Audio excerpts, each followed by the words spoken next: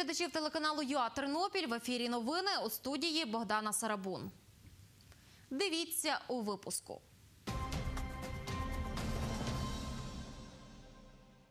Близько трьох років люди, які живуть у центрі Скалиподільської Борщівського району, не мають води. Її набирають в джерелі, що за два кілометри від селища. Випускники інтернатів Тернопільщини облаштували теплицю, де вирощують овочі та зелень. Урожай продаватимуть на благодійному аукціоні. Скільки часу потрібно, щоб знешкодити вибухівку? Кореспонденти Суспільного напередодні професійного свята побачили будні вибухотехніків. Жителі селища Скала Подільська Борщівського району вимагають забезпечити їх цілодобовим водопостачанням. Петицію про це зареєстрували на сайті громади, каже житель селища Сергій Бондарчук. За його словами, близько трьох років люди, які живуть у центрі Скали Подільської, не мають води. Її набирають в джерелі, що за два кілометри від селища. Чому склалася така ситуація та що кажуть у селищній раді, знає Анастасія Чичко. Наталія Кавковська живе у двоповерховому будинку в центрі Скалеподільської. Жінка каже, у неї вода є лише вночі.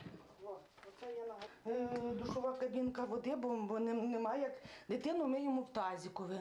Самі миємося. Зараз жара, ще й тим більше пандемія, ось коронавірус. Ми не можемо ні помитися. Це от ми ведемо образ життя нічний. Вночі тільки лише появляється година, друга появляється вода. У цьому ж будинку на першому поверсі разом із сином живе Ярослав Потурняк. Пройдіть сюди, будь ласка. На даний час друга година дня води немає. Вчора після обіду ми приїхали з Тернополя і так води й не було. Воду привозимо з басону. Джерело це знаходиться е, на старій скалі, далі десь е, на відстані більше двох кілометрів. І це раз на два дні потрібно їхати за водою. Додаткові витрати, так е, постійно буса потрібно мені заправляти, е, щоб два рази поїхати, це на 40 гривень. На початку червня житель Скалеподільської Сергій Бондарчук зареєстрував петицію на сайті громад про безперебійну подачу води. Якщо вона набере 200 голосів, її мають розглянути на сесії селищної ради. Наразі там 73 голоси. Декілька разів е, спілкувався особисто з головою. Він мені казав, треба трошки почекати, трошки почекати. Потім ще почекав трошки, потім дивлюся, ну, ну на що чекати. Треба писати петицію, бо тому що то чекання буде дуже довго. Начальник Скалаподільського комбінату комунальних підприємств Юрій Альбертович каже, раніше в центр міста воду подавали з водонапірної вежі та цієї свердловини. У 2017 році вежу визнали аварійною. Відтоді водопостачання було лише зі свердловини. Вежі знаходилися от на території Дінтер України, тут зараз забудовано. От де, от тут, де от зараз е, в них склади. Вони е, коли розвалили цю вежу, тому що вона була признана, є документація в селищній раді, що вона була аварійна. Е, коли признали її аварійною, вони її розвалили. Замість вежі вони купили оцей, е, це обладнання. Яке є в свердловині. Недостатньо, тому що коли була вежа, був природній тиск. Вежа була 75-кубова, її тоді хватало. За словами голови Скалаподільської селищної ради Віктора Мирончука, щоб подавати воду у центр селища, в листопаді минулого року відкрили свердловину, яку викопали у 80-х роках. Вона потребує ремонту, каже Віктор Мирончук, а це близько 200 тисяч гривень. За словами чоловіка, раніше її не відновлювали, бо не мали коштів. Сьогодні на сесії селищної ради з бюджету виділили 35 тисяч гривень. Від, відгукнулося багато підприємців е, і підприємств, які нададуть. Які закуплять за свій рахунок обладнання, плюс з селищного бюджету буде виділено кошти. Якщо центр коли має одну свердловину і в нас недостатня кількість води, то колишнє військове містечко там є чотири свердловини. І їх більше ніж достатньо для того, щоб ми могли мати воду в центрі Скалиподільської. Ми одну з свердловин ми відновили, провели аналізи. е, Вода, води там достатньо і вода хорошої якості.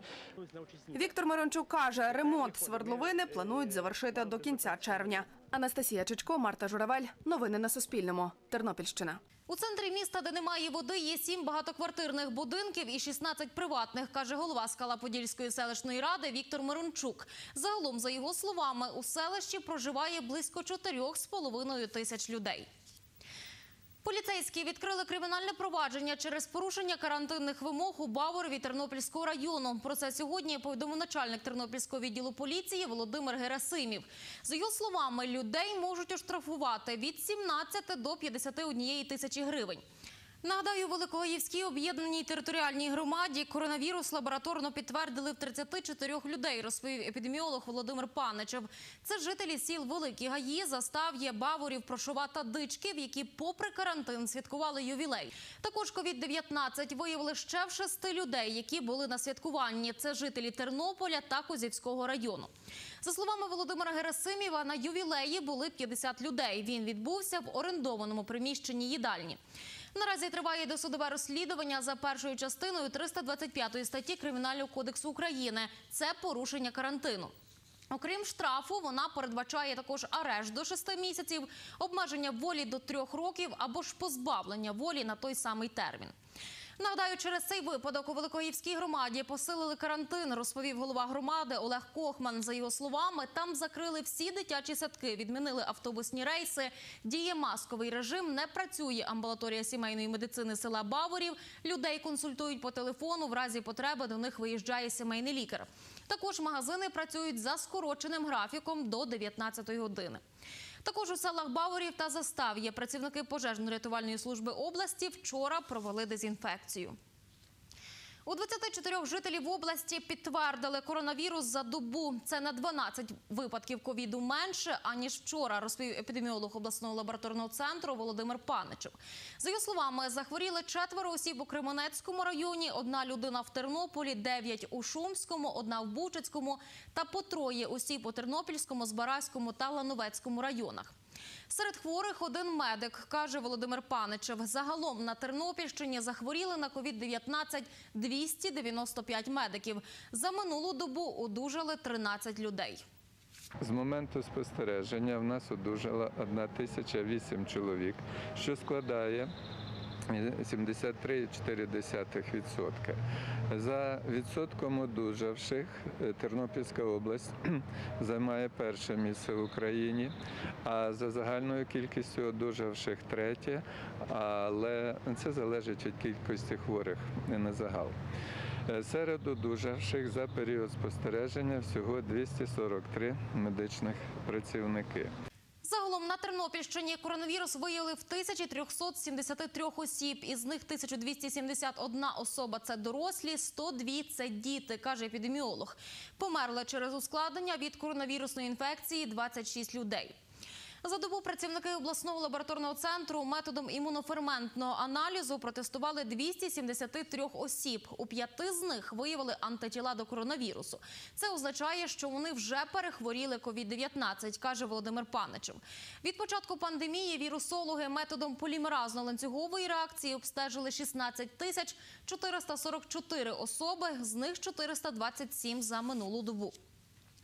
Загалом від початку пандемії найбільше випадків COVID-19 в області зафіксували в Кременецькому районі 417, 304 людини там вже одужали та 8 померли через ускладнення.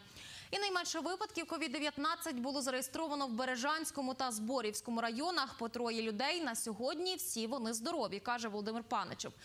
Загалом, як повідомив міністр охорони здоров'я Максим Степанов, на сьогодні в Україні 29 тисяч 753 лабораторно підтверджених випадки COVID-19. З них 13 тисяч 464 пацієнти вже одужали, померли 870 людей. За добу лабораторно підтвердили коронавірус у 683 людей. Це на 6 випадків COVID-19 менше, аніж вчора. Найбільше випадків COVID-19 виявили в Чернівецькій області – 3831, 1200 людей там вже одужали. Тернопільщина сьогодні на восьмому місці і найменше в Луганській області – 54 випадки, з яких 45 осіб вже видужали. Це дані з підконтрольної Україні території. До шести років можуть ув'язнити 35-річного тернополянина, який крав велосипеди. Про це повідомив заступник начальника Тернопільського відділу поліції Сергій Гатанюк. За його словами, суд обрав йому міру запобіжного заходу тримання під вартою з можливістю внесення застави 42 тисячі гривень. Сергій Гатанюк каже, чоловіка підозрюють у восьми крадіжках, збитки яких зазнали власники велосипедів від 2 до 15 тисяч гривень. На цих кадрах ви бачите відео з камер спостереження в одному з будинків Тернополя, на якому видно підозрюваного.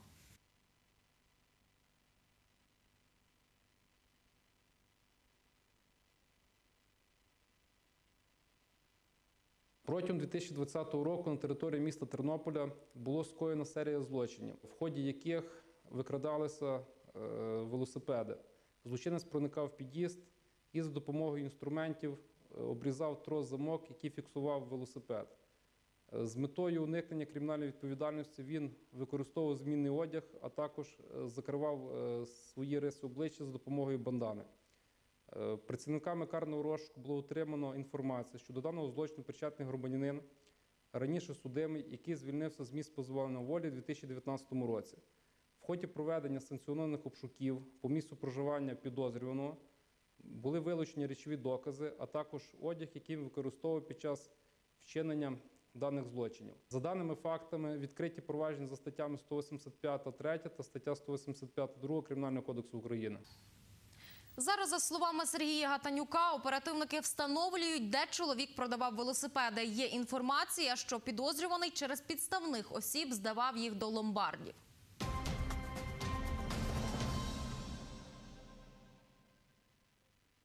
Екологічну стежку відкрили на території природного парку Дністровський каньйон. Її протяжність 5,5 кілометрів.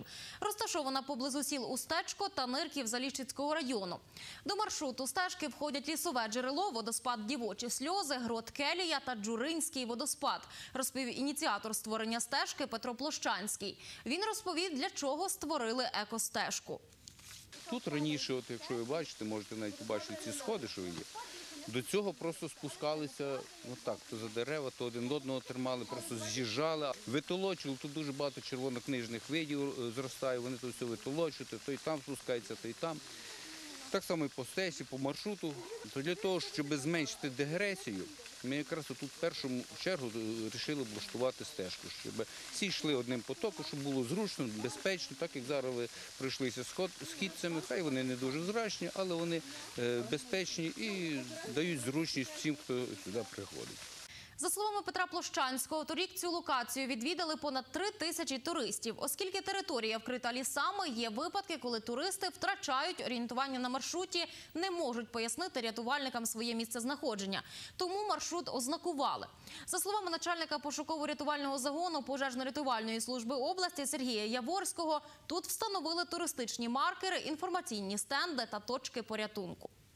Це є е, фактично е, система таких знаків ідентифікаторів, які встановлені вздовж е, екологічної стежки, а також частково на території лісового масиву.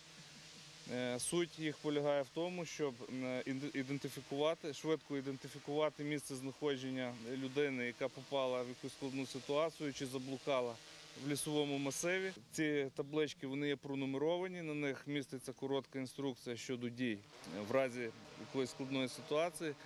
Людина е, телефонує до диспетчера оперативно-рятувальної служби, е, називає номер таблички, біля якої вона знаходиться. Відповідно, е, моментально вона ідентифікується її місце знаходження, і до, такої людини може бути направлений підрозділ або надана їй може бути допомога в телефонному режимі. Національний парк Дністровський каньйон розташований на території Борщівського, Заліщицького, Бучицького та Монастириського районів. Його площа понад 10 тисяч гектарів. Створили його в 2010 році, щоб зберегти цінні природні та історико-культурні комплекси в районі середньої течії річки Дністер, розповів Петро Площанський. Тернопільські вибухотехніки показали кореспондентам Суспільного свої робочі будні. 13 червня вони відзначатимуть професійне свято. Скільки часу потрібно, щоб знайти та знешкодити вибухівку, дивіться у сюжеті Тараса Бурака. Це службовий собака Рік. Він шукає тротил. У вибухотехнічній службі рік три роки, і з ним працює кінолог Володимир Машталер.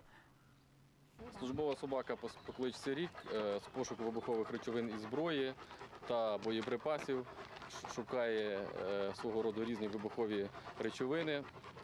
Е, При знаходженні вона здійснює усадку або укладку, тобто сідає або лягає.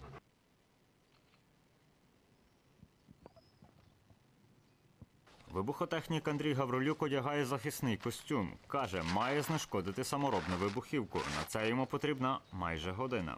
Близько 12 кг та захисний шолом. Вибухову мережу мої катушки.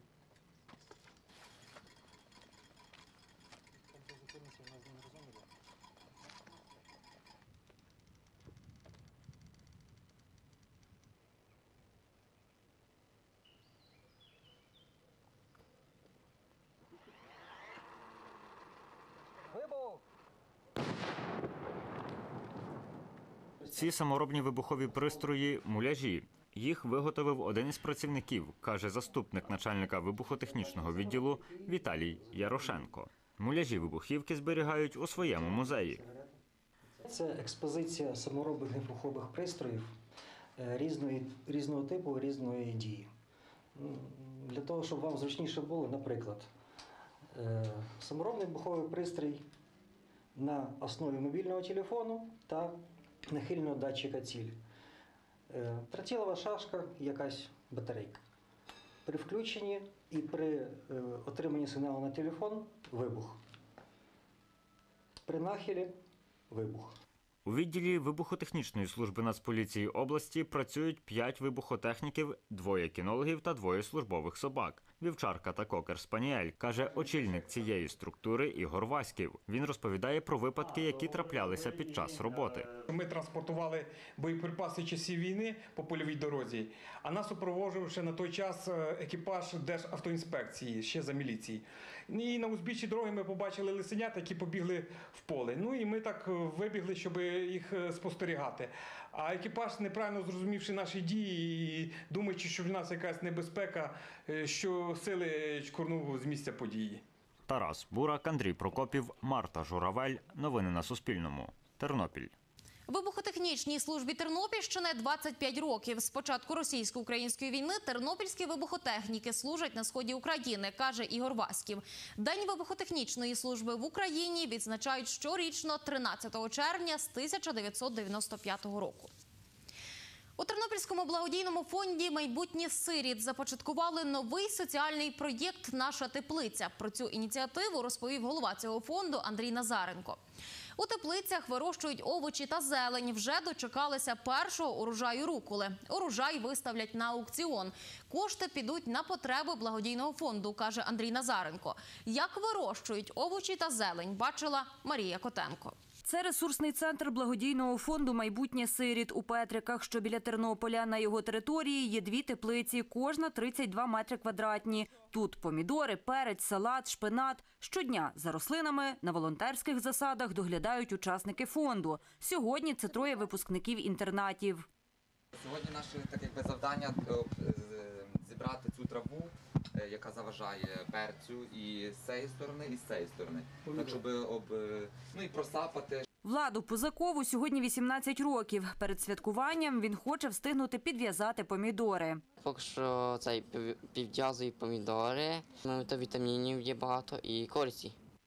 Василь Деркач, випускник Бережанської школи-інтернату. Він працює рієлтором у Тернополі. Прийшов, щоб доглянути розсаду болгарського перцю. Все, що ми робимо, це навчаємося, щоб в майбутньому це можна було використати і долучитися, е, зробити вже щось своє з- тієї теплиці. Мрію відкрити е, свій е, бізнес, мережу швидкого харчування і ремонту телефонів по 10 е, точок в області.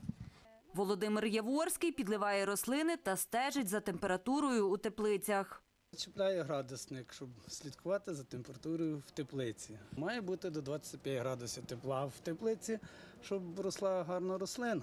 Проєкт Наша теплиця стартував у квітні 2020 року. Коштами допомогли меценати із Сполучених Штатів Америки. На закупівлю та облаштування двох теплиць витратили майже 50 тисяч гривень, каже голова благодійного фонду Майбутнє сиріт Андрій Назаренко. Ідея була моя. З урожаєм ми плануємо давати, роздавати, виставляти, по-перше, виставляти в соціальні мережі, пропонувати небайдужим людям е, придбати в нас дану е, продукцію. Вже маємо перші навіть результати вчора.